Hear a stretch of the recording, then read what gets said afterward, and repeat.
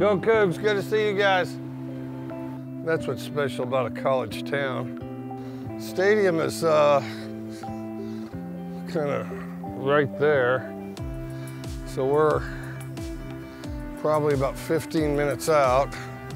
And you know, you can go right through the middle of campus, which that's cool, except for then you get in too many conversations and you don't make it to the office as quick as you'd like. All right, how you doing?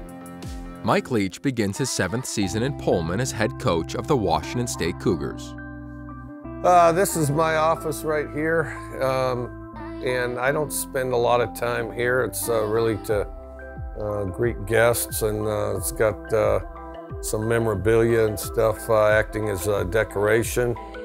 It's hard to describe Coach Leach in, you know, one specific instance. You just really never know what you're gonna get. It's almost like every day is an interesting, different day that you haven't experienced before. But one thing with pirates is they have great gear. They got swords, they got ships. You know, you travel to pretty cool places. Well, and the fact of the matter is, is everybody's a little interested in pirates.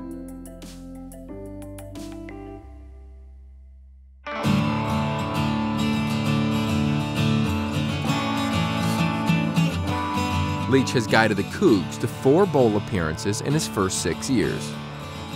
You just think about winning one play at a time. Just think about each play, each rep, win each rep, win each rep, and do it all week long. Make sure we have a great day tomorrow. All right, break it down. I got the In 2017, the Cougars finished 9 and 4 and featured one of the greatest quarterbacks in Washington State history, Luke Falk.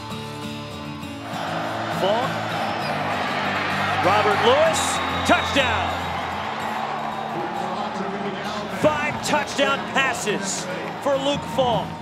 With Falk moving on to the NFL's Tennessee Titans, Washington State's quarterback position is wide open.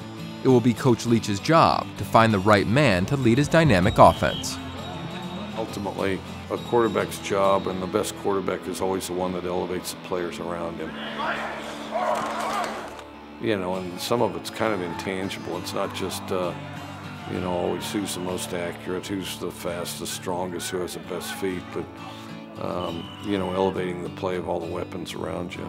Hey, let's work, man, let's work! Three on me, three on three, one, two, three! Yes, you lose Luke Falk. He is a icon when it comes to Washington State football, but they know one of these guys is probably going to emerge given the success that Mike Leach has had with quarterbacks and how this system works on offense.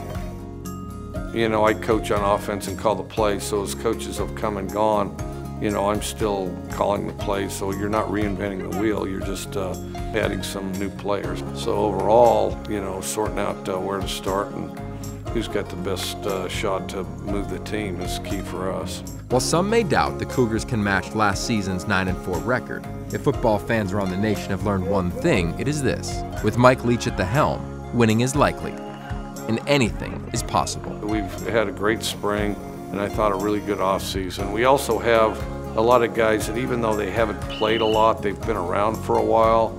And then several positions like receivers, we've got a number of guys back. Um, linebackers, we've got quite a few back. Secondary, quite a few. And then just the opportunity to uh, build on and see what the future of these guys that we've been excited about for a couple years holds.